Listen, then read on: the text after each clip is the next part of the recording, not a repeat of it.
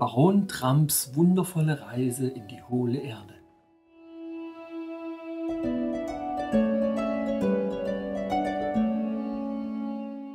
Familie Donald J. Trump Prophezeiung von vor 130 Jahren.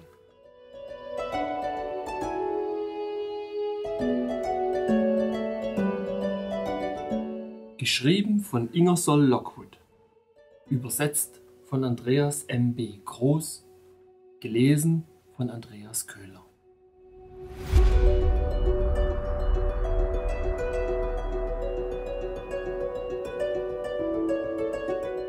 Kapitel 25 Eine schlaflose Nacht für Bulger und mich und was darauf folgte. Unterredung mit König Gelidus. Meine Bitte und seine Antwort. Was alles geschah, als ich erfuhr, dass der König und seine Räte beschlossen hatten, meiner Bitte nicht stattzugeben. Ungewöhnlicher Tumult unter den Koltiquerbs und wie seine eisige Majestät ihn stillte und einige andere Dinge.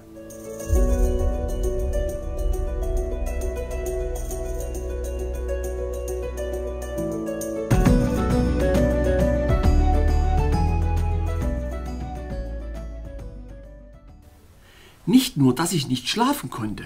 Ich hatte auch den armen, lieben Bulger durch mein Hin- und Herwälzen wachgehalten, sodass wir am Morgen beide ziemlich mitgenommen aussahen. Ich fühlte mich, als hätte ich einen Schwächeanfall hinter mir und er zweifellos auch. Jedenfalls hatte ich keinen Appetit auf die schwere Fleischkost der Koltiquerbs, und da ich mein Frühstück verweigerte, tat Bulger es auch. Ich hatte Schneeblume versprochen, früh in den Palast zu kommen, denn sie hatte eine Reihe von Fragen, die sie mir über die Oberwelt stellen wollte. Guten Morgen, kleiner Baron, rief sie in ihrem süßesten Ton, als ich den Thronsaal betrat. Hast du letzte Nacht gut geschlafen auf dem neuen Pelz, den Papa dir geschenkt hat? Ich wollte gerade etwas erwidern, als Schneeblumes Hand die meine berührte denn wir hatten beide die Handschuhe ausgezogen, um uns die Hand zu geben, und sie stieß einen durchdringenden Schrei aus, zog sich zurück und blies ihren Atem auf ihre rechte Handfläche, während sie immer wieder ausrief Feuerbrand, Feuerbrand. In einem Augenblick kamen König Gelidus und eine Gruppe seiner Ratsherren heran, zogen ihre Handschuhe über, und einer nach dem anderen legte seine Hand in meine. Glühende Kohlen, rief seine frigide Majestät. Flammenzunge, brüllte Frosttyphus. Kochendes Wasser, stöhnte Glacier Boy. Rotglühend, zischte Cool. Du musst den Palast sofort verlassen, flehte König Gelidus halb. Es wäre schlichtweg Wahnsinn, wenn ich zuließe, dass ein solcher Brandstifter innerhalb der Mauern der königlichen Residenz verbleibt. Die große Hitze deines Körpers würde mit Sicherheit ein Loch in die Mauern schmelzen, noch bevor die Sonne untergeht. Die königlichen Ratsherren zogen erneut ihre Handschuhe aus und legten die Hände auf den armen Bulger, als ein zweiter Alarm, noch wilder als der erste, ausgelöst wurde und wir eilig in unsere Unterkunft zurückgeführt wurden. Zweifellos, liebe Freunde, werden Sie etwas verwirrt sein, wenn Sie diese Worte hören, aber die Erklärung ist einfach. Infolge der Sorge und des Schlafmangels waren Bulger und ich in einem höchst fiebrigen Zustand aufgewacht, und den Koltiquerbs schien es wirklich, als stünden wir fast in Flammen. Aber unser Fieber verließ uns gegen Abend. Als er das hörte, schickte König Gelidus nach uns und tat alles, was in seiner Macht stand, um uns mit Gesang und Tanz zu unterhalten. In beidem war Schneeblume sehr geschickt. Da ich sah, dass seine frigide Majestät in einer so rosigen Stimmung war, wenn ich so von einer Person sprechen darf, deren Gesicht fast so weiß war wie die Alabasterlampen über seinem Kopf, beschloss ich, ihn um Erlaubnis zu bitten, die eisige Zelle des kleinen Mannes mit dem gefrorenen Lächeln zu spalten und, wenn möglich, anhand des Halsbandes, das anscheinend aus Gold- und Silbermünzen bestand und um seinen Hals geschlungen war, festzustellen, wem er gehörte und wo seine Heimat war. Kaum hatte ich mein Anliegen vorgetragen, bemerkte ich, dass das weiße Gesicht des königlichen Gelidus von seinem Lächeln abließ und einen furchtbar eisigen Ausdruck annahm.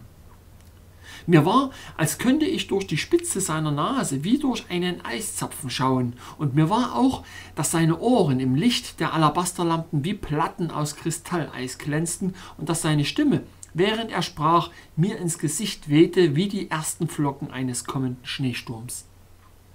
Schnell bereute ich mein unüberlegtes Handeln, aber es war zu spät und ich war entschlossen, dazu zu stehen.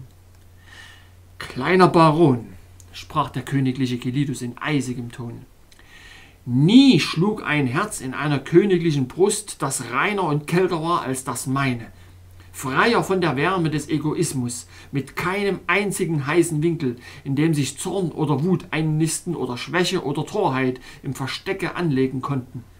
Seit tausenden von Jahren bewohnt mein Volk dieses eisige Reich und atmet diese reine, kalte Luft, und noch nie hat jemand danach verlangt, eine Axt aus Feuerstein in die Wände dieses kristallenen Gefängnisses zu schlagen.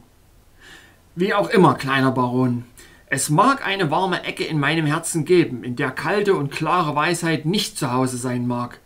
Darum komm morgen zu mir, um meine Antwort zu hören, und bis dahin berate ich mich mit den kühlsten Hirnen und kältesten Herzen um mich. Wenn sie nichts Böses in deiner Bitte sehen, darfst du die kristallenen Tore öffnen, die das menschenähnliche Wesen so viele Jahrhunderte in seiner stillen Zelle eingeschlossen haben, und ihn herausholen, um die mystischen Worte zu studieren, die auf seinem Kragen eingraviert sind aber unter der strengen Bedingung, dass beim Aufbrechen seines Kristallhauses meine Steinbrecher ihre Keile so ansetzen, dass sie den Block in zwei gleiche Teile brechen. Dass, wenn du gelesen hast, was darin sein mag, die beiden Teile wieder auf den kleinen Mann geschlossen werden. Kante an Kante wie eine vollkommene Form. So genau, dass für das Auge kein Zeichen von Linie oder Fuge sichtbar ist. Versprichst du, kleiner Baron, dass dies so sein soll, wie es nach unserem königlichen Willen zu sein scheint? Ich versprach feierlichst, dass die Kristallzelle des kleinen Mannes mit dem gefrorenen Lächeln genau so geöffnet und geschlossen werden sollte, wie es seine eisige Majestät angeordnet hatte. Es würde mir schwerfallen, Ihnen zu sagen, liebe Freunde, wie glücklich ich mich in dieser Nacht auf meinem eisigen Divan zur Ruhe begab und wie ich, während die winzige Flamme meiner Alabasterlampe ihren sanften Schein auf die Wände aus Eis warf, dort lag und in meinem Geist das seltsame und geheimnisvolle Vergnügen durchspielte, das mir bald zuteil werden sollte, wenn die Steinbrecher von König Gelidus ihre Keile aus Feuerstein in diesen herrlichen Eisblock setzen und ihn spalten sollten. Selbst Don Fum, der Meister der Meister, hätte sich nie träumen lassen, eine Botschaft von den Menschen zu erhalten, die in der Kindheit der Welt lebten. Und in der Vorfreude genoss ich schon den herrlichen Triumph, der mir zuteil werden würde, wenn ich vor gelehrten Gesellschaften über die geheimnisvollen Schriftzüge auf dem seltsamen Halsband, das den Hals des kleinen Mannes mit dem gefrorenen Lächeln umschließt, referieren würde. Stellen Sie sich meine Bestürzung vor, liebe Freunde, als ich am nächsten Tag die Nachricht von König Gelidus erhielt, dass seine Räte mit einer Stimme gegen die Öffnung des kristallenen Gefängnisses in der Grotte von Schneebule entschieden hatten. Ich war wie von einer plötzlichen und furchtbaren Krankheit befallen. Ich hatte bis zu diesem Augenblick nie gespürt, wie scharf der Zahn der Enttäuschung sein konnte. Zuerst fröstelte ich so sehr, dass ich mich mit den Koltiquerbs verbrüderte. Und dann brannte ich mit einem so heftigen Fieber, dass sich ein wildes Gerücht in Gelidus eisigem Reich verbreitete, ich würde die Wände und das Dach in Brand stecken. Mit wildem Geschrei und von namenlosem Schrecken gezeichneten Gesichtern stürmten die Untertanen seiner eisigen Majestät die breite Treppe hinauf, die zum Eispalast führte, und flehten den König an, sich zu zeigen. In kalter und eisiger Erhabenheit schritt Gelidus auf die Plattform hinaus und hörte sich die Bittgesuche seines Volkes an. Wir werden brennen, riefen sie. Unsere schönen Häuser werden uns um die Ohren fallen, diese kristallenen Stufen werden wegschmelzen und alle diese schönen Säulen und Bögen und Statuen und Sockel werden sich in Wasser verwandeln und sich in die unteren Höhlen der Erde entleeren. Das große Fenster unseres Himmels wird mit furchtbarem Krachen auf unsere Häupter fallen und diesem schönen Reich der kristallenen Pracht für immer ein Ende setzen. O Gelidus, eile, eile, bevor es zu spät ist. Lass dem kleinen Baron seinen Willen, bevor bittere Enttäuschung seinen Körper und seine Glieder in Flammenzungen verwandelt, um diesen herrlichen Palast in einer einzigen Nacht zu verzehren und seine tausend Alabasterlampen zu Boden zu schleudern. Ein Haufen von Scherben, kein Fragment, das seinem Bruderfragment gleicht, sondern alles eine elende Masse wertlosen Matsches. König Gelidus und seine frostigen Ratsherren sahen, dass es zwecklos wäre, mit dem Volk vernünftig reden zu wollen, und deshalb wandte er sich ihnen zu, winkte kühl mit seiner kalten rechten Hand und sprach mit einem eisigen Lächeln frostig wie folgt. Geht, Koltiquerbs, in eure Häuser und seid glücklich. Was denkt ihr? Habe ich ein erhitztes Hirn? Dampft mein Herz vor Dummheit, dass ihr mir zutraut, dem kleinsten Koltiquerb, der in meinem schönen Reich seinen Eiskreisel dreht, Schaden zu wünschen? Geht nach Hause, sage ich. Der kleine Baron kühlt sich schon ab, denn er hat meine volle Zustimmung, das kristallene Gefängnis des kleinen Mannes mit dem gefrorenen Lächeln zu zerteilen. Es gibt nichts zu befürchten, meine Kinder, denn ich gebe euch mein königliches Wort, dass der kleine Baron morgen früh nicht mehr die geringste Gefahr für den Frieden und das Wohlergehen unseres eisigen Königreichs darstellt. Eine kalte, gute Nacht euch allen. In einer kurzen halben Stunde waren die panischen Koltiquerbs alle wieder in ihren Häusern, und als ein Bote von König Gelidus kam, um meine Temperatur zu messen, fand er eine so große Verbesserung, dass er sein kühles Herz öffnete und mir ein schönes Geschenk aus seinem Schatzhaus schickte, nämlich einen kleinen Eisblock, klarer als jeder Edelstein, den ich je gesehen hatte, in dessen Herz eine prächtige rote Rose in vollster Blüte lag jedes samtene Blütenblatt eifrig geöffnet. Als ich mein Tagebuch zu Rate zog, stellte ich fest, dass es auf den Tag genau sechs Monate her war, dass ich Schloss Tramp und die geliebten Menschen verlassen hatte, die von seinen abgenutzten Ziegeln beschützt wurden. Und so kalt wie die Hülle dieses dreimal so schönen Kindes der Oberwelt war, drückte ich sie an meine Brust und vergoss Tränen. Und so kam es, liebe Freunde, dass König Gelidus und seine frostigen Ratsherren dazu gebracht wurden, ihre Zustimmung zu geben, dass sich das eisige Gefängnis, in dem der kleine Mann mit dem gefrorenen Lächeln lag, aufbrechen durfte.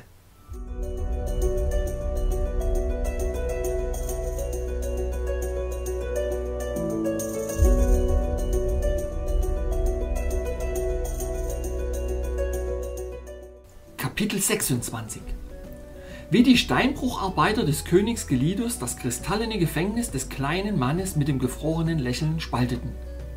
Meine bittere Enttäuschung und wie ich sie ertrug. Wunderbare Ereignisse in der folgenden Nacht. Bulger erweist sich wieder als ein Tier von außerordentlicher Findigkeit.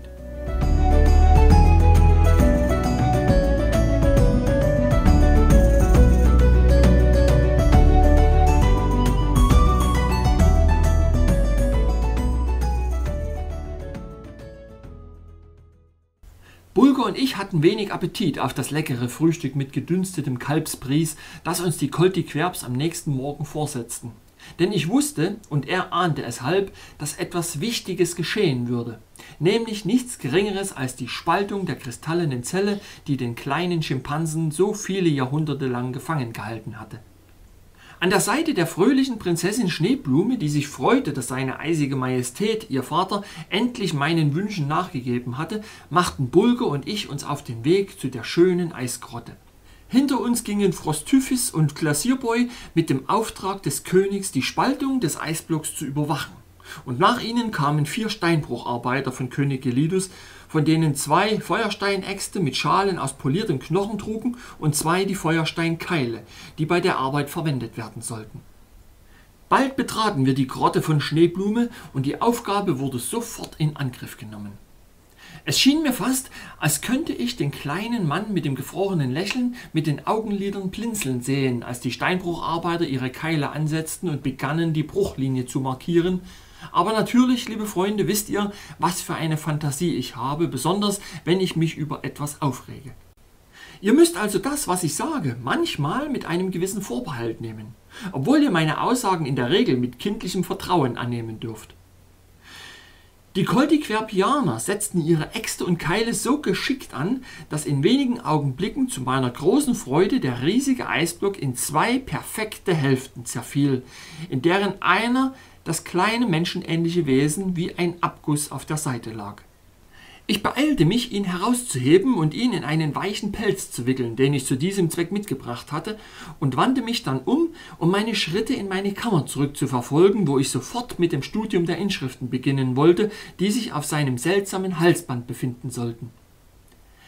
Denken Sie daran, kleiner Baron, sagte Glassierboy, auf ausdrücklichen Befehl seiner eisigen Majestät muss der kleine Mann mit dem gefrorenen Lächeln morgen früh um diese Stunde in seine Kristallzelle zurückgebracht werden. Ich verbeugte mich zustimmend, bekleidete Prinzessin Schneeblume bis zum Fuß der großen Treppe, die zum Eispalast führte, wandte mich ab und war bald in der Privatsphäre meines eigenen Appartements. Jetzt kam für mich eine der bittersten Enttäuschungen meines Lebens. Aber ich fügte mich mit einer gewissen Würde, denn es war die gerechte Strafe, die mir für meine törichte Eitelkeit auferlegt wurde, die danach strebte, eine ältere Aufzeichnung der menschlichen Rasse auszugraben, als es bisher von irgendeinem der großen Forscher und Philosophen getan worden war, nicht einmal mit Ausnahme des Meisters der Meister. Don Strephalofitke Guarnerius Fum. Wisst also, liebe Freunde, dass das seltsame Halsband, das aus Gold- und Silbermünzen oder Scheiben bestand, die geschickt miteinander verbunden waren und das den Hals des Tieres umgab, kein einziges Wort oder einen Buchstaben irgendeiner Sprache enthielt. Da die Unterseiten völlig leer waren und die Oberseiten lediglich grob eingeritzte Umrisse eines Objekts aufwiesen, das möglicherweise für die Sonne gedacht war.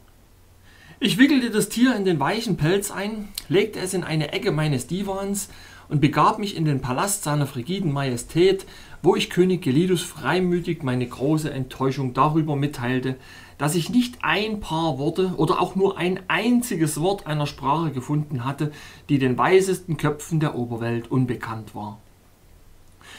Schneeblume war von meiner Traurigkeit so gerührt, dass sie, wenn ich ihr nicht geschickt aus dem Weg gegangen wäre, wahrhaftig ihre Arme um meinen Hals geworfen und mir den Kuss auf die Wange gedrückt hätte, der mich zum König der Koltiquerbs gemacht hätte.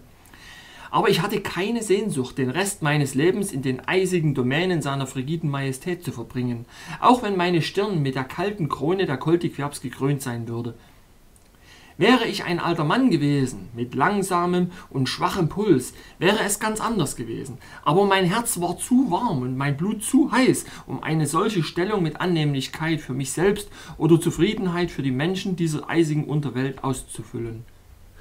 So hielt ich die kleine Prinzessin genug beschäftigt, das kann ich Ihnen versichern. Erst mit Liedern, dann mit Tanz und dann mit Geschichten erzählen. In dieser Nacht ordnete König Gelidus ein prächtiges Fest zu meinen Ehren an. 500 weitere Alabasterlampen wurden angezündet und die königlichen Divane wurden mit den reichesten Fellen des Palastes ausgelegt und nachdem der Tanz und der Gesang beendet waren, wurden gefrorene Leckerbissen aus der königlichen Küche auf Alabasterplatten herumgereicht und Bulger und ich aßen, bis uns die Zähne wehtaten. Es war schon spät, als wir unser eigenes Gemach erreichten, und meine Gedanken waren so voll von den schönen Anblicken, die wir im Thronsaal bestaunt hatten, dass ich den armen kleinen Mann mit dem gefrorenen Lächeln ganz vergessen hatte, den ich zugedeckt und auf meinen Divan verstaut hatte. Aber Bulger war nicht so kaltherzig gewesen. Zwanzigmal während des Abends hatte er mir einen schlauen Ruck am Ärmel gegeben, so als wolle er sagen Komm, kleiner Herr, lass uns schnell zurückgehen. Erinnerst du dich nicht, dass wir meinen armen, kleinen, erfrorenen Bruder ganz allein in dieser eisigen Kammer zurückgelassen haben? Ich war sehr müde und schlief fast sofort ein. Und doch hatte ich eine undeutliche Erinnerung daran, dass Bulger nicht an seinem Platz an meiner Brust war. Ich erinnerte mich, dass ich etwas für ihn empfand, aber das ist alles.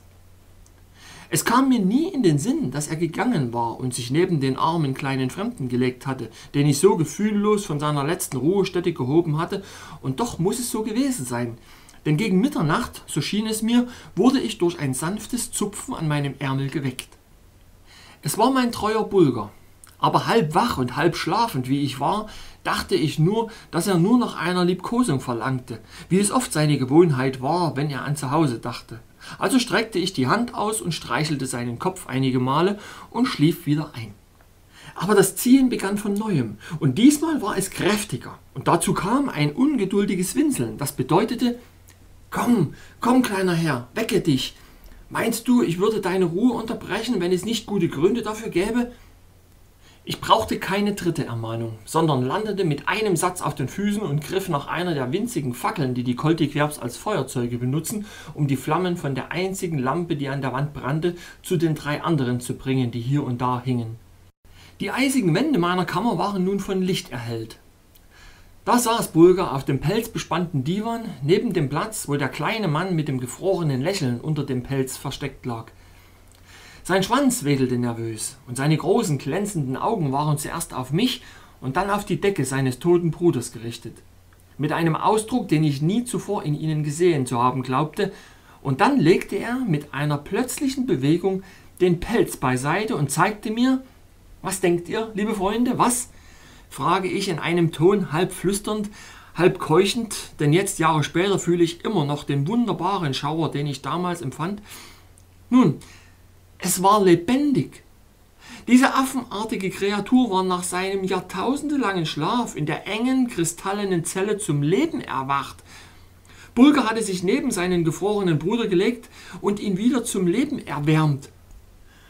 Oh, es war wundersam wundervoll, dieses Paar kleiner, perlenartig leuchtender Augen zu sehen, die zu mir aufblickten und mir zublinzelten, und dann diese tiefe, stöhnende Stimme zu hören, die so menschenähnlich war, als würde sie wimmern mit einem Schütteln und einem Schaudern. Oh, wie kalt ist es! Wie sehr kalt ist es! Wo ist die Sonne? Wo ist der weiche, warme Wind und wo ist der wolkenlose Himmel, so blau, ach so schön blau, der früher über meinem Kopf hing? Ich forderte Bulgar auf, sich wieder neben ihn zu legen und sich so eng wie möglich an ihn zu kuscheln und beeilte mich, sie beide mit den weichesten Fellen zuzudecken, die ich finden konnte. In wenigen Augenblicken ertönte unter dem Stapel ein leiser, zufriedener Schrei. Kuja, Kuja, Kuja, gefolgt von einem seltsamen Zusatz, der wie Fuff, Fuff, Fuff klang. Also fügte ich sie alle zusammen und nannte den seltsamen Neuankömmling im eisigen Reich von König Gelidus Fuff Kuja. Hast du in dieser Nacht noch geschlafen? Kein Auge zugetan. Es überkam mich dieselbe Freude, die ich vor langer Zeit am Weihnachtsmorgen empfand, wenn Chris Kringel mir irgendeinen wunderbaren Mechanismus brachte, der von einer geheimen Feder bewegt wurde. Denn ich hatte es immer verschmäht, gewöhnliches Spielzeug anzunehmen, wie gewöhnliche Kinder.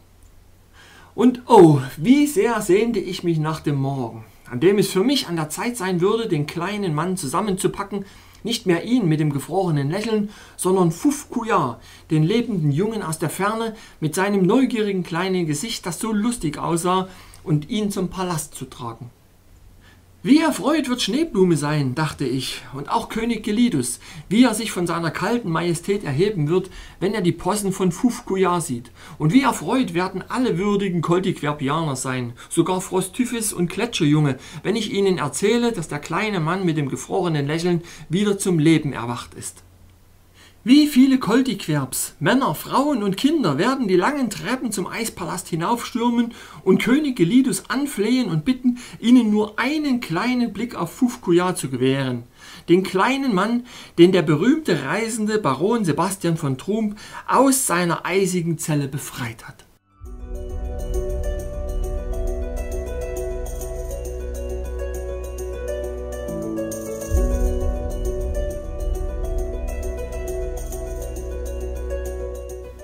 Kapitel 27 Aufregung um Fufkuya. Ich bringe ihn an den Hof von König Gelidus. Seine sofortige Zuneigung zu Prinzessin Schneeblume. Ich werde beschuldigt, die schwarze Kunst auszuüben. Meine Verteidigung und meine Belohnung. Die Angst der Koltiquerbs, dass Fufkuya verhungert. Dieses Unglück ist abgewendet, aber ein anderes steht bevor. Wie bewahre ich ihn vor dem Erfrieren? Ich löse das Problem, aber ziehe mir ein seltsames Unglück zu.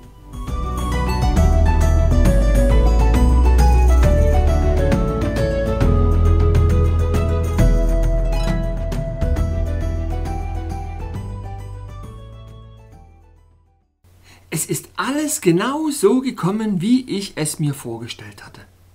In dem Moment, als bekannt wurde, dass der kleine Mann mit dem gefrorenen Lächeln tatsächlich zum Leben erwacht war, herrschte die wildeste Aufregung in allen Teilen des eisigen Reiches seiner frigiden Majestät.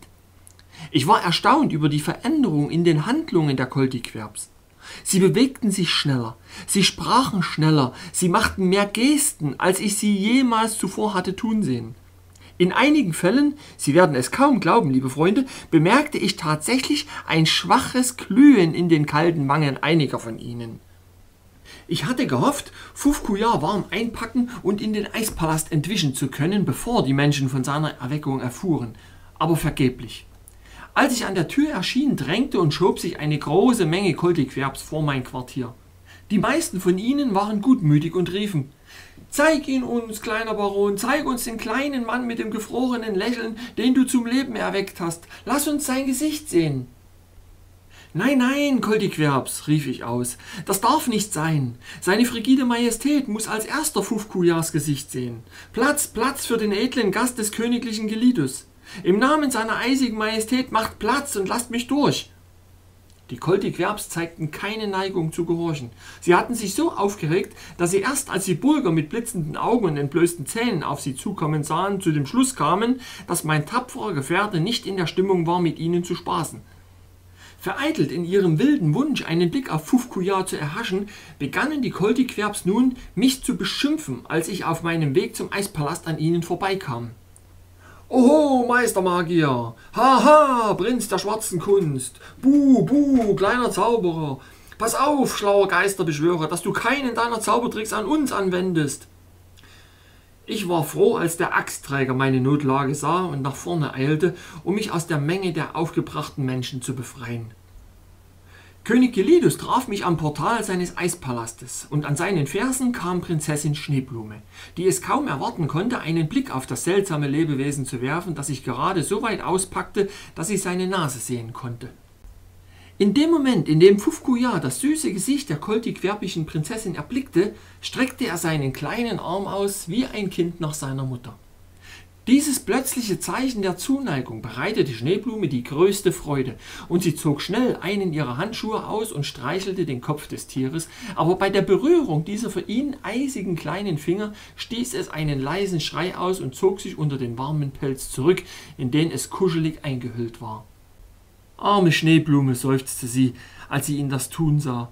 Aber das hinderte sie nicht daran, jede Minute oder so zu kommen und ein Ende des Fells gerade so weit anzuheben, dass sie einen weiteren Blick auf Fufkujar werfen konnte, der sich zwar beim Anblick der Prinzessin immer näher an mich kuschelte, aber immer eine seiner schwarzen Pfoten unter dem Fell hervorstreckte, damit Schneeblume ihn schütteln konnte. Während ich auf dem Divan in der Nähe des Throns saß, beobachtete ich, dass Frosttyphis und Glacierboy eine geflüsterte Konferenz mit seiner eisigen Majestät abhielten. Sofort erriet ich das Thema ihrer Unterhaltung. Ich erhob mich und machte ein Zeichen, dass ich den König ansprechen wollte, und als er mit strenger und eisiger Würde mit dem Kopf nickte, begann ich zu sprechen. Ihr wisst, liebe Freunde, wie beredt ich sein kann, wenn ich in der richtigen Stimmung bin. Nun, da ich fast auf den Stufen von König Elidus Thron aus Eis stand, verteidigte ich mich gegen die Anschuldigung, ein Meister der schwarzen Kunst zu sein. Ich werde nicht alles verraten, was ich sagte, aber das war mein Ende. Möge es eurer frigiden Majestät gefallen. Hier neben mir steht der einzige Magier in diesem Fall und die einzige Kunst, der einzige Trick oder Zauber, der von ihm ausgeübt wurde, war jene süße Macht, die wir Liebe nennen. Als er zum ersten Mal seinen vierfüßigen Bruder erblickte, der in der kristallenen Zelle von Schneeblumes Grotte eingesperrt war, drückte er seine Nase immer wieder gegen die eisige Wand in dem vergeblichen Versuch, seinen Verwandten zu erkennen und wandte sich mit einem Ausruf des Kummers ab, um zu erfahren, dass sein scharfer Geruch nicht zu ihm durchdringen konnte. Ich kann Ihnen nicht sagen, wie groß seine Freude war, als ich Fufkuja steif und starr auf meinen Divan legte, denn ich wusste damals nicht, welcher Plan in Bulgers Kopf heranreifte. Aber später war alles klar genug. Der liebevolle Hund verlässt die Brust seines Herrn und trägt sein wahres und zartes Herz hinüber zu dem Ort, wo Fufkuya liegt, hebt das Fell auf, krabbelt neben ihn und drückt seine warme Brust fest und hart an das eisverschlossene Herz seines Bruders und erwärmt ihn wieder zum Leben. Dann weckt er mich und erzählt mir, was er getan hat. Dies, königlicher Gelidus und edelster Koltiquerbs, ist die einzige Kunst, die angewandt wurde, um Fufkuya wieder zum Leben zu erwecken und sie schwarz zu nennen hieße, den Sonnenschein zu verleumden, die Lilie zu beschimpfen und den süßen Hauch des Himmels ein gemeines und abscheuliches Ding zu nennen. Als ich meine Rede beendet hatte, sah ich, dass Schneeblume geweint hatte und dass einige ihrer Tränen, die in ihrem Lauf über ihre Wangen gestopft wurden, dort hingen und wie winzige Diamanten im sanften Licht der Alabasterlampen funkelten, wo die kalte Luft von Gelidus Palast sie in Eis verwandelt hatte. Und als seine frigide Majestät sagte, dass meine Worte sein Herz berührt hätten und mich um ein Geschenk aus seiner Hand bitten ließ, sagte ich, O kalter König dieses schönen, eisigen Reiches, Lass die Tränen, die jetzt wie winzige Juwelen an Schneeblumes Wangen hängen, in ein Alabasterkästchen bürsten und mir geben. Ich begehre keine andere Belohnung. Selbst wenn ich dich nicht lieben würde, kleiner Baron, rief König Gelidus mit einem eisigen Lächeln, würde ich mich überreden lassen. Aber lieben macht leicht glauben. Geh, Frosttyphis, und befiehl einer der Frauen der Prinzessin, die winzigen Juwelen, die an Schneeblumes Wange hängen, in einen Alabasterbecher zu bürsten und sie dem kleinen Baron zu schenken. Kaum war dies geschehen, streckte Fufkuya seinen Kopf unter dem Pelz hervor, blickte mich flehend an, streckte die Zunge heraus und öffnete und schloss den Mund mit einem leisen, schmatzenden Geräusch. Blitzschnell dämmerte mir, dass dieses Zeichen bedeutete, dass Fufkuya hungrig war. Und dann, als ich mich plötzlich daran erinnerte, dass die Koltiquerbs ein streng fleischessendes Volk waren, dass es in ihrem kühlen Reich nur Fleisch gab, das fast wie Marmor selbst aus den großen Kühlschränken der Natur gebrochen wurde, entwich ein Keuchen meinen Lippen und ich flüsterte, Oh, er muss sterben. Er muss sterben. Meine Worte waren den scharfen Ohren der Prinzessin Schneeblume nicht entgangen. Sprich, kleiner Baron, rief sie, Warum, warum muss der kleine Fufkuya sterben? Was meinst du mit diesem Spruch? Und als König Gelidus und Schneeblume mich meine Befürchtung aussprechen hörten, dass er lieber sterben würde, als Fleisch zu fressen, wurden sie beide sehr betrübt. Armer kleiner Fufkuya, stöhnte die Prinzessin. Kann es sein, dass er so bald in seine Kristallzelle in meiner Grotte zurückgebracht werden muss? Lasst den Meister meiner Fleischsteinbrüche zum Thron kommen, rief König Gelidus plötzlich mit eisiger Würde. Dieser wichtige Funktionär erschien bald darauf. Der König wandte sich an mich und forderte mich auf, ihm den Fall zu erklären. Dies tat ich in wenigen Worten, worauf der Meister der Fleischbrüche zur großen Freude aller Anwesenden wie folgt sprach Kleiner Baron, wenn das das einzige Problem ist, dann machen Sie sich keine Sorgen mehr, denn ich werde sofort einen meiner Männer mit einem Vorrat an köstlichen Nüssen zu Ihnen schicken. Köstliche Nüsse? wiederholte ich in einem Ton der Verwunderung. Aber ja, kleiner Baron, ich habe einen guten Vorrat zur Hand. Es vergeht kaum ein Tag, an dem meine Männer nicht auf ein schönes Exemplar aus der Familie der Naschkatzen stoßen. Meistens Eichhörnchen, in deren Backentaschen wir immer eine bis ein halbes Dutzend leckere Nüsse verstaut finden. Es ist immer meine Gewohnheit gewesen, diese beiseite zu legen. Und so muss ich dir mitteilen, dass, wenn Fufkuya 100 Jahre alt werden sollte, ich oder mein Nachfolger garantieren könnte, ihn mit Nahrung zu versorgen. Diese Worte nahmen mir eine schreckliche Last vom Herzen, denn nun würde Fufkuya wenigstens nicht mehr verhungern. Ein paar Tage lang ging alles gut.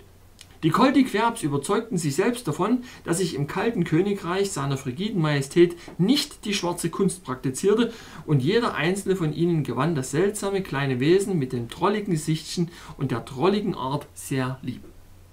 Aber es schien, als ob wir kaum aus einem Problem heraus waren, als wir in ein anderes hineingestürzt wurden, denn nun begann Fufkuya gegen den Diener zu protestieren, der von König Gelidus ausgewählt worden war, sich um ihn zu kümmern.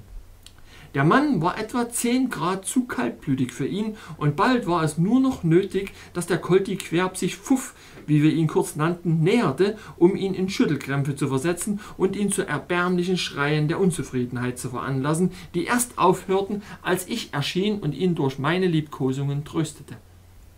Ich machte mich nun an die Arbeit, einen Weg zu finden, Fuffs Leben angenehmer zu gestalten, denn jeder schien mich für sein Wohlergehen verantwortlich zu machen. Zehnmal am Tag kamen Boten von König Gelidus oder von Prinzessin Schneeblume, um sich zu erkundigen, wie es ihm gehe. Ob wir ihn warm genug hielten, ob er alles zu essen habe, was er wollte, ob er genug Felle auf seinem Bett habe. Es war auch nicht ungewöhnlich, dass an einem einzigen Tag mehr als ein Dutzend Koltiquerpianer Mütter mit Ratschlägen für einen ganzen Monat zu mir kamen und um ihm einen wärmeren Raum zum Schlafen zu verschaffen, ließ ich ihm einen Divan in einer kleineren Kammer, die sich zu meiner hin öffnete, aufstellen, an dessen Wänden ich ein halbes Dutzend der größten Lampen anbringen ließ. Die Folge war, dass die Wände zu schmelzen begannen, und als er davon hörte, verbreitete sich Bestürzung in der eisigen Domäne seiner frigiden Majestät, denn für das Gemüt eines Koltiquerbs war Hitze, die stark genug war, Eis zu schmelzen, etwas Schreckliches. Es war wie bei uns die Angst vor einem Erdbeben oder die Furcht vor einer Flut oder einer Feuersbrunst. Es war etwas, das ihre Herzen mit solchem Schrecken erfüllte, dass sie in ihren Träumen sahen, wie die soliden Wände des Eispalastes zerschmolzen und mit einem Krachen einstürzten. Sie konnten es nicht ertragen, und so erließ König Gelidus den Erlass, dass Fufkuya sterben müsse, wenn es keinen anderen Weg gäbe, ihn am Leben zu erhalten. Als sie das hörte, überkam die arme Schneeblume ein schrecklicher Schmerz, denn sie hatte den kleinen Fuff sehr lieb gewonnen und der Gedanke, ihn zu verlieren, versetzte ihr einen Stich in die Brust. Niemals, niemals, rief sie, werde ich einen Fuß in meine Grotte setzen können, wenn Fufkuja wieder in sein kristallenes Gefängnis gesteckt wird, mit seinem gefrorenen Lächeln auf dem Gesicht, wie es früher einmal war. Und indem sie ihren königlichen Vater aufsuchte, warf sie sich vor ihm auf die Knie und sprach wie folgt. O Herz aus Eis, o frigide Majestät, lass dein Kind nicht vor Kummer sterben. Es gibt einen einfachen Ausweg aus all unserem Ärger mit dem lieben kleinen Fufkuja. Sprich, geliebte Schneeblume, antwortete König Gelidus. Lass mich hören, was es ist. Nun, kaltes Herz, sagte die Prinzessin, der kleine Baron hat viel Wärme in seinem Körper gespeichert. Er hat genug für sich selbst und Fufkuja dazu. Deshalb, frigider Vater, befiehl, dass eine tiefe, warme Kapuze an den Mantel des kleinen Barons gemacht wird und dass Fufkuja darin untergebracht wird und vom kleinen Baron herumgetragen wird, wohin er auch geht. Er wird sich bald an die schlanke Last gewöhnen und sie nicht mehr bemerken. Es soll sein, wie du willst, antwortete der König der Koltiquerbs und rief seinen treuen Berater Glesierboy und wies ihn an, mich sofort in den Thronsaal zu rufen. Als ich diesen schrecklichen Befehl von den eisigen Lippen des Königs Gelidus hörte, sank mein Herz in mir, und doch wagte ich nicht, mich zu widersetzen. Ich wagte nicht zu murren, denn ich war es, der das kristallene Gefängnis des kleinen Mannes mit dem gefrorenen Lächeln zerbrochen hatte. Ich, der es Bulger ermöglicht hatte, ihn wieder zum Leben zu erwecken. O armer, eitler, schwacher, törichter Junge, der ich gewesen war, was sollte jetzt aus mir werden?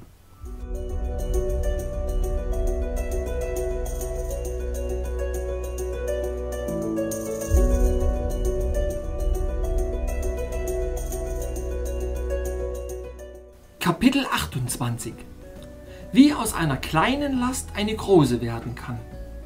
Die Geschichte eines Mannes mit einem Affen in seiner Kapuze. Mein schreckliches Leiden. Die schreckliche Panik, die die Koltiquerbs ergriff. Mein Besuch im verlassenen Eispalast und was mit Fufkuya geschah. Das Ende seiner kurzen, aber seltsamen Karriere. Ein gefrorener Kuss auf einer Hornklinge. Oder wie Schneeblume sich einen Ehemann wählte.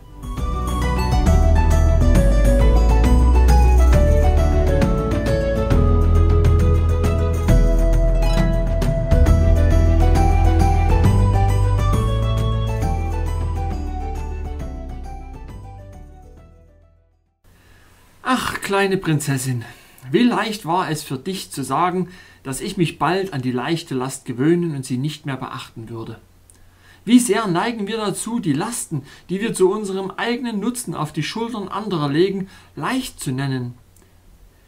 Gewiss, Fufkuya war nicht so lang wie ein Pferd und nicht so breit wie ein Ochse.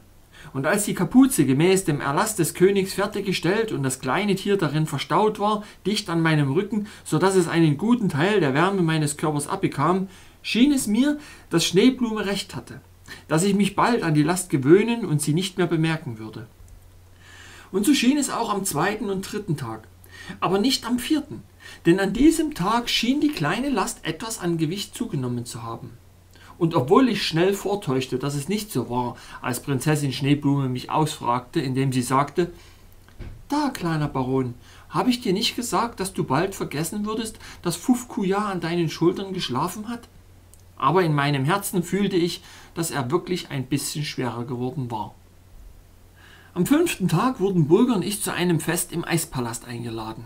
Und als ich mich von meinem Divan erhob, um mich dorthin zu begeben, schien mir mein Herz seltsam schwer zu sein, und Bulger auch, denn er machte mehrere Versuche, mir ein Lächeln oder einen heiteren Ton zu entlocken, aber vergeblich. Plötzlich merkte ich, dass ein Gewicht gegen meinen Rücken drückte. Nein, kein schweres Gewicht, aber doch ein Gewicht. Und dann flüsterte ich mir zu wenn ich zu einer Feier gehe, dann werfe ich ihn ab. Und dann erwachte ich aus meiner tiefen Abstraktion und murmelte, wie seltsam, dass ich vergessen habe, dass Fufkuya in meiner Kapuze steckt.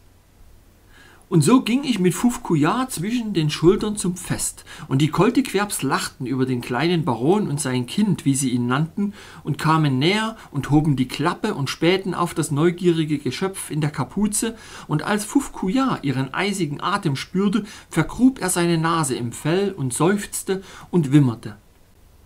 Dann, als die Prinzessin Schneeblume kam und sich neben mich setzte und mich für meine Bereitschaft lobte, ihre Wünsche zu erfüllen und mir so lieb für meine Güte zu ihr dankte, vergaß ich für einen Augenblick die kleine Last, die mir auferlegt worden war, und ich aß die gefrorenen Leckerbissen aus der königlichen Küche und lachte und scherzte mit den Herren Frostüfis und Klesierboy, so wie es meine Gewohnheit war, bevor Gelidus angeordnet hatte, dass Fufkuya sein Bett auf meinen Schultern machen sollte.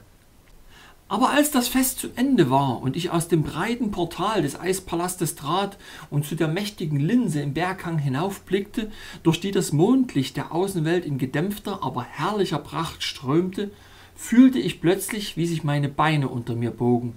Ich taumelte von rechts nach links, ich war an Schatten gefesselt, ich war, so schien es mir, im Begriff, unter einer schrecklichen Last erdrückt zu werden.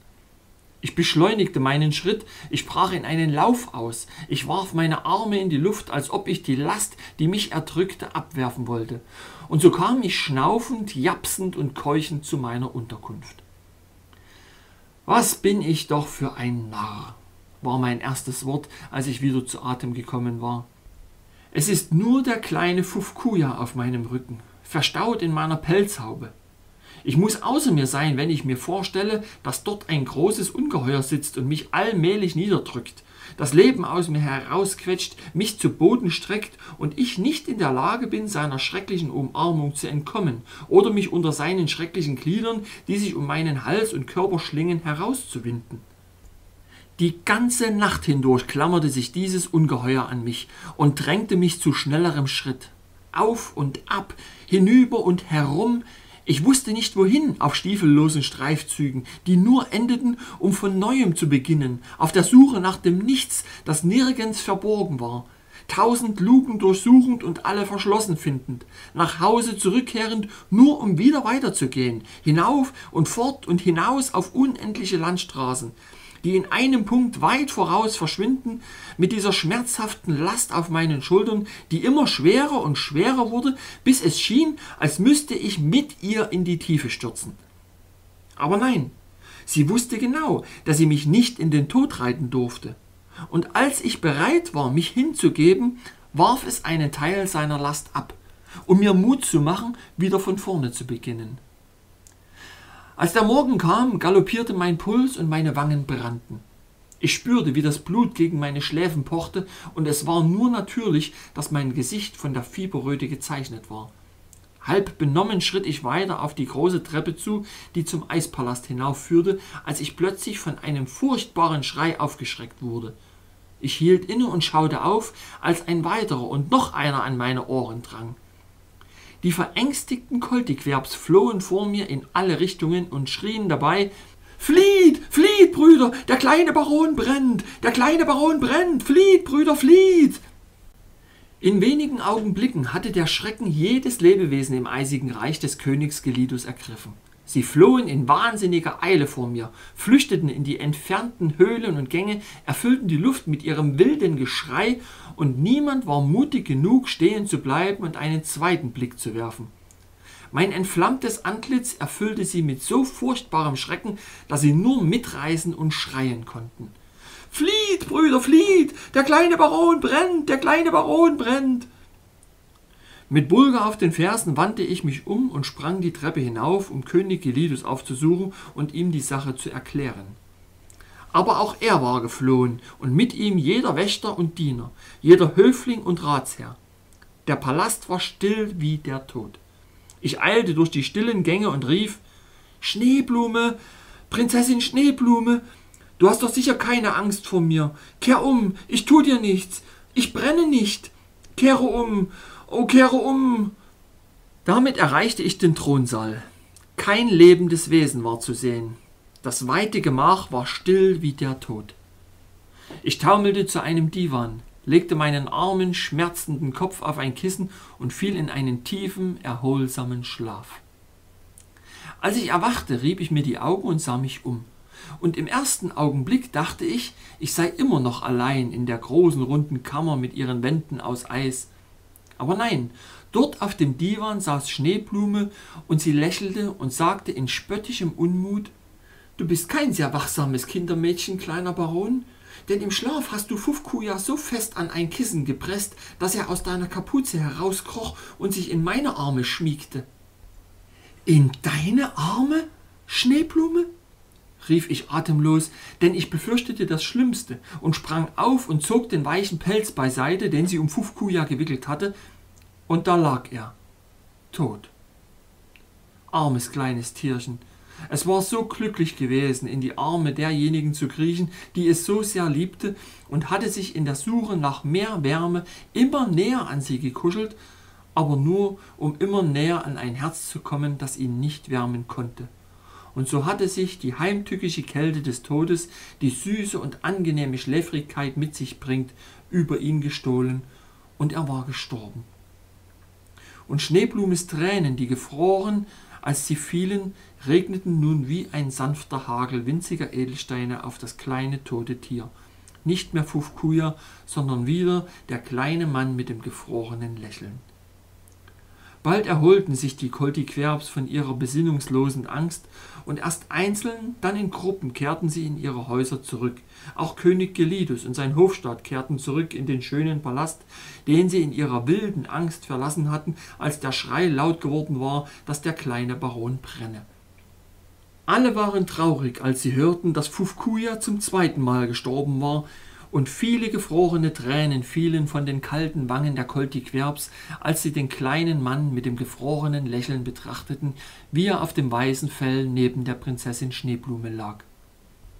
An jenem Tag trugen wir ihn zurück in die Eisgrotte, und nachdem wir ihn in die von seinem Körper geformte Vertiefung im Kristallblock gelegt hatten, wurde sie von den Steinbrucharbeitern des Königs so geschickt wieder geschlossen, dass kein Auge scharf genug war, um zu bemerken, wo die Spalte gewesen war. Und dasselbe unheimliche Glitzern war in seinen Augen. Und als die Koltiquerbs dies sahen, fühlten ihre eisigen Herzen einen kalten Schauer der Befriedigung. Denn nicht nur war der kleine Mann mit dem gefrorenen Lächeln wieder zurück in seiner Kristallzelle, sondern alle Ängste und schrecklichen Fantasien, die sein Wiedererwachen hervorgerufen hatte, waren vorbei und für immer verschwunden. Und Frieden und Ruhe und süße Zufriedenheit herrschten im ganzen eisigen Reich seiner frigiden Majestät Gelidus, König der Koltiquerbs. Jetzt gab es nichts mehr, was sein kaltes Herz vor Freude zerspringen ließ, als zu sehen, wie sein geliebtes Kind Schneeblume sich einen Ehemann aussuchte und er musste nicht lange warten, denn als sie eines Tages den Palast betrat, sah sie einen Jungen am Fuße der Treppe liegen, den der Schlaf übermannte. In der einen Hand hielt er eine Alabasterlampe und in der anderen einen neuen Docht, den er gerade hineinstecken wollte, denn der Jüngling war ein Lampentrimmer im Eispalast des Königs Gelidus. Und als die Prinzessin Schneeblume ihn schlaftrunken daliegen sah, bückte sie sich und küsste ihn auf die Wange und ging weiter ohne einen weiteren Gedanken an die Sache zu verschwenden, so oder so.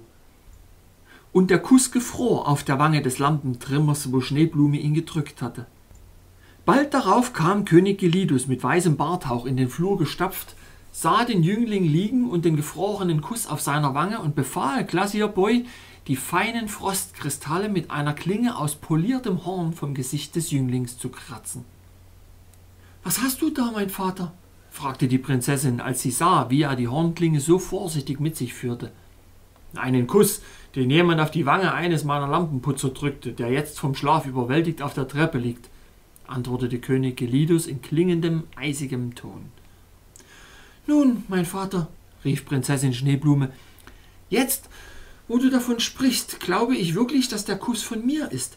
Denn ich erinnere mich, dass ich jemanden geküsst habe, als ich den Palast betrat. Ich war tief in Gedanken versunken, aber zweifellos gefiel mir der Jüngling, als er dort lag, schlafend mit der Lampe in der einen und dem Docht in der anderen Hand. Und dieser Lampentrimmer trimmte keine Lampen mehr im Eispalast seiner frigiden Majestät Gelidus, König der Koltiquerbs. Zweifellos war er ein guter Ehemann für Schneeblume. Und ich bin sicher, dass sie ihm eine gute Ehefrau war. Ich wäre gerne noch zum Hochzeitsmahl geblieben, aber das kam nicht in Frage. Ich war schon zu lange geblieben.